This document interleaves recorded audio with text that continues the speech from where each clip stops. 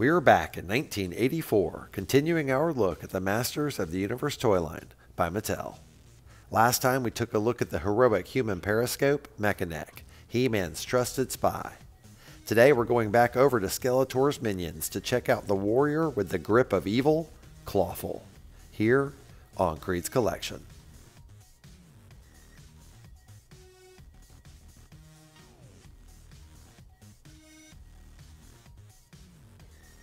Hey, and welcome back to another episode of Kreed's Collection.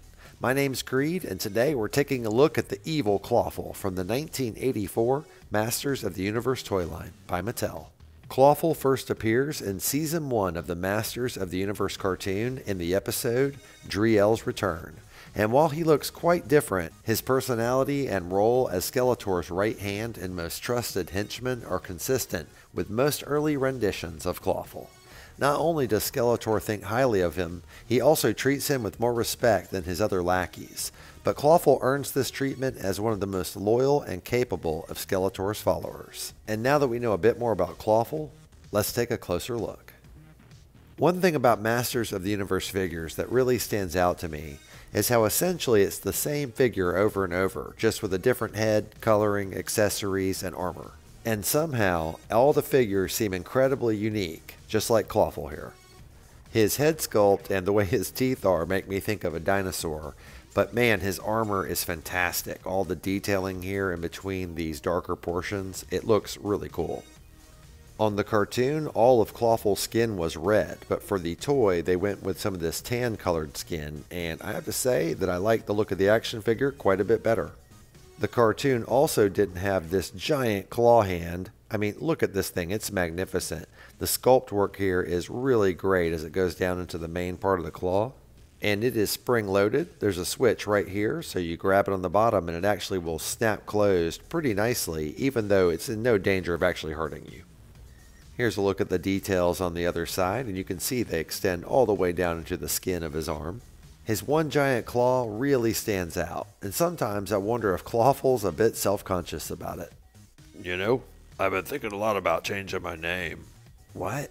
But why? Well, the only thing people ever notice about me is my giant claw, and the name Clawful really draws attention to it.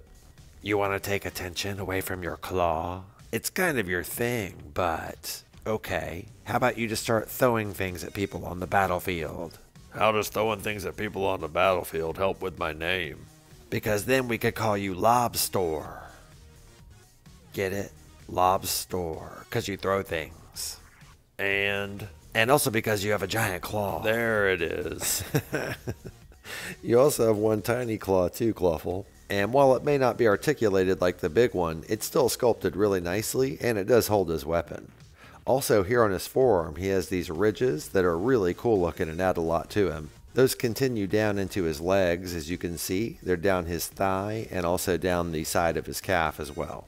He's also got these great three toed giant feet down here. And all in all, these legs look fantastic. The ridging going down into the three toed monster feet, that's awesome. There's some fun details here on the back of Clawful on his head and armor, and we'll take a closer look at those right now basically he's got these spikes that run down the back and then they go back into his spine. And I have to say, I love that these continue into the back of his armor. It's a nice touch and excellent detailing. Also, he's got this armor that snaps together that they came out with later. It's two pieces that pop on.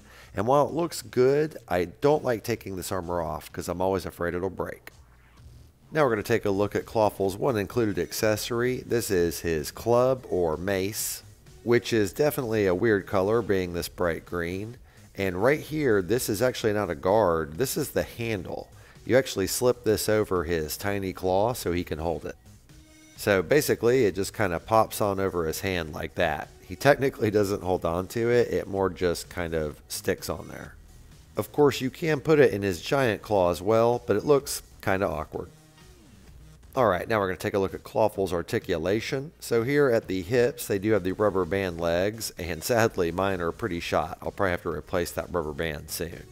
Now here at the waist, he does have the spring-loaded mechanism for the power punch, which we'll look at here in a bit.